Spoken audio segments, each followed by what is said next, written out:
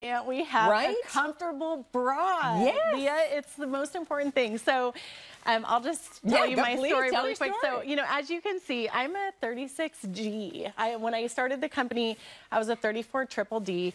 And I could not find a wire free bra that was comfortable. It just didn't exist. And, um, you know, when I tried bras that just had the underwire removed, it was frumpy and dumpy, and it gives me, I, I call it boob loaf. It's like that one big Boob boob loaf, in the middle. yes. And nobody wants that. But I didn't want to be uncomfortable. So if you're at home and you're wearing an underwire bra, stand up straight and see what happens. Do you get two Hmm. pressure points right here where that wire, that wire that was invented in the 1930s, like name another piece of technology from the 1930s that you're still using today. Yeah. And so I spent years of my life, if you turn your Evelyn and Bobbie bra, advanced wire-free bra. And that's what we're talking about. So let me quickly tell everybody what we have. Know, we're going to talk stop. sizing because it really is. It's game changing.